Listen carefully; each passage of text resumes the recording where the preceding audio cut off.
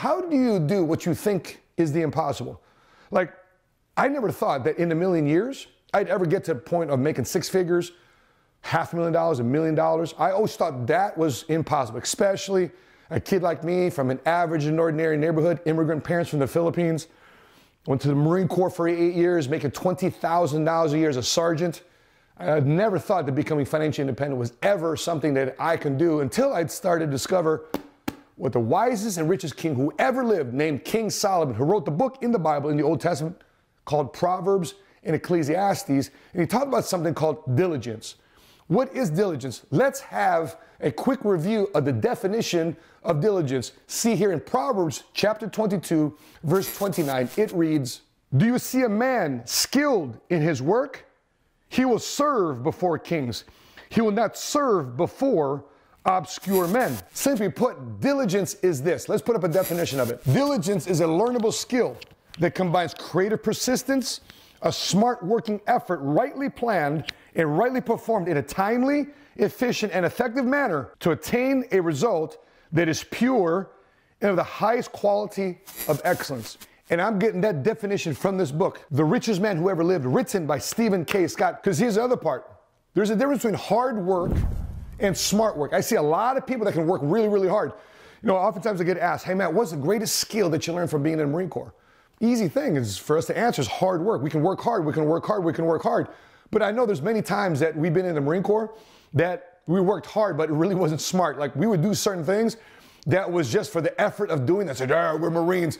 But it wasn't smart. There's a difference between hard work and smart work. For example, if you were asked to cut down a tree, would you cut down a tree with a hammer?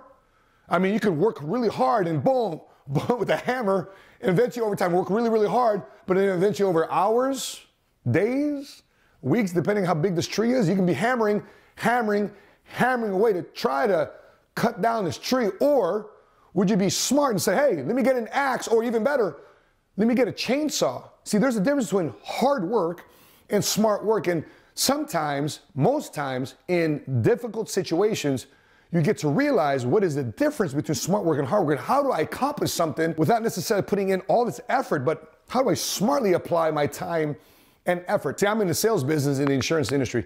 I see a lot of salespeople sometimes say, Matt, I'm at the office. I work really hard, work really hard.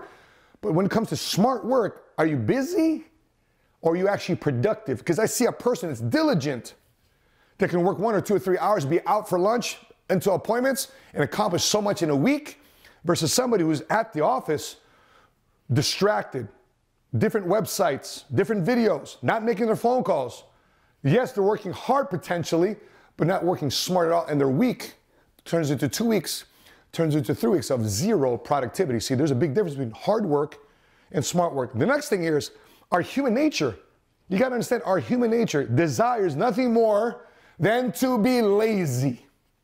That's why most people who don't find passion in their work, they don't find purpose in their career or business, they cannot wait till Friday. The TGI Friday mentality says, man, I cannot wait. Why? Because our natural disposition is to be lazy. We want instant gratification. Now, the recording of this video, it's going into February, the new year.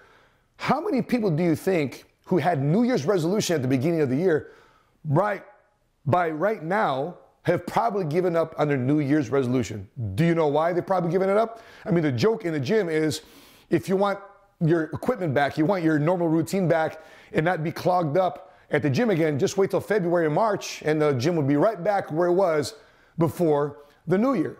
Why? Because our natural disposition as human beings is lazy instant success. How many of you have heard that terminology? Netflix and chill. Everybody wants to do just Netflix and chill, hang out, they'll binge watch TV, sitting on their butt, on the couch. And by the way, this is not a popular message. Hard work is a very difficult message to sell. But it's easier to sell. Just take it easy. Kick your feet up, relax, and potentially success is coming your way. But according to Solomon, that is not diligence. That's laziness. So here are seven benefits of actually applying diligence in your life. Let's look at number one. If you apply diligence in your life, into your work, into your finances, into your career, into your business, you're gonna have a distinct advantage. Let's go to Proverbs chapter 21, verse 5. It reads like this The plans of the diligent lead to profit as surely as haste leads to poverty. See, when you have plans and you're diligent, you're applying yourself, you're gonna have a distinct advantage versus somebody that's just shooting from the hip. Number two, the benefit of diligence is you're going to have control. Let's go to Proverbs chapter 12, verse 24. It reads like this Diligent hands will rule, but laziness ends in slave labor. You see, if you want to lose control, if you want to have something else yanking you left and right, well, guess what? Don't operate in diligence. Number three, the benefit of diligence is fulfillment. Let's go to Proverbs chapter 13, verse 4. It reads like this The sluggard craves and gets nothing, but the desires of the diligent are fully satisfied. Again, that word keeps coming up diligent, diligent, diligent, diligence. It gives you fulfillment. Not the lazy person, not the sluggard. They may want, they may crave, but if they're lazy and sluggish about things that they want because they're not operating in diligence, they get nothing. They may be satisfied for a minute, but guess what? They're going to constantly crave and they will not be fulfilled. Number four, benefit of diligence is you're respected and you're sought after. Here's one of my favorite ones. Go to Proverbs chapter 22, verse 29. It reads like this Do you see a man skilled in his work? He will serve before kings, he will not serve before obscure men. So if you want to have influence, you want to, you want to have respect, not only amongst your peer group, but respect amongst the people that you look up to and the people they look up to, and you want to be sought after, you want to be consulted, you want your advice, your influence upon the endeavors of other people. Guess what? Operate in diligence because you're going to be giving counsel and advice to kings and leaders. Number five, another benefit of diligence, it needs are satisfied. Your needs will be satisfied. Go to Proverbs chapter 8, verse 19. It reads like this He who works his land, not sitting on his land, he who works his land will have abundant food, but the one who chases fantasies will have his fill of poverty. I tell you this, I used to love video games. I love video games. I was one of the guys who had the first PS1. But the moment I figured I was spending all this time in fantasy land, living a life that I wasn't living. I was winning through the game, but I wasn't winning in my finances. I wasn't winning as a dad. I wasn't winning as an entrepreneur. I wasn't winning as somebody leading. And I realized being in a fantasy land, according to this, again, if you choose fantasy, you're gonna have poverty. Now, with that being said, I know, well, Matt, you can't say that about esports. Okay, I get it. Esports. You want to compete? I, I, get, I get gaming is a big thing these days. But listen, man, a lot of these uh, fantasy, same thing too with books reading novels and all these different things? Is it really helping you advance your life? Are you caught up in a story, in a storyline of something else? Number six, increasing success.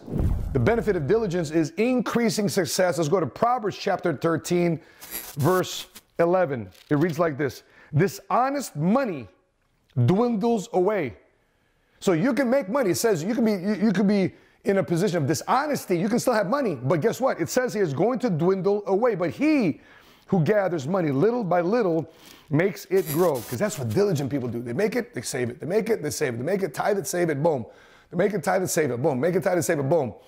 So therefore, the, the things that you like to enjoy, like the fancy cars and the homes and the jewelry, all that stuff, guess what? It's going to be the cost of buying a cup of coffee because in the meantime, guess what? You're diligent. Listen, I've seen my own personal mentor, Patrick Bet David, be diligent in his work.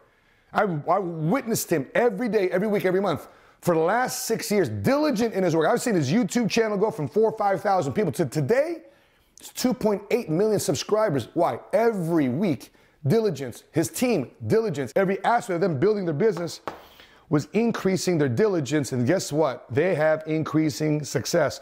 Number seven, you want to have diligence?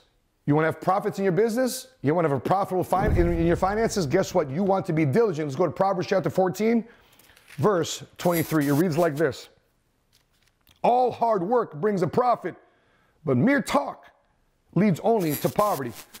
Again, I see a lot of people with a good game, man. It's funny how people can show a good game. Social media gives us an opportunity to show a good game but uh, if you're not willing to work hard behind the scenes, oftentimes people think they can just sit behind a computer and push a couple buttons and right or invest in a couple properties or invest in a couple things and think that passive income is going to be their, their, their thing without actually working the business without actually working the details without actually applying diligence in all aspects of that business. Again, you might make a profit in one month, two months, one year, two years, but if you're not applying diligence, you'll not be profitable long term. You might have money in the short term, but long term, you will not be profitable. Why? Because you're not applying diligence.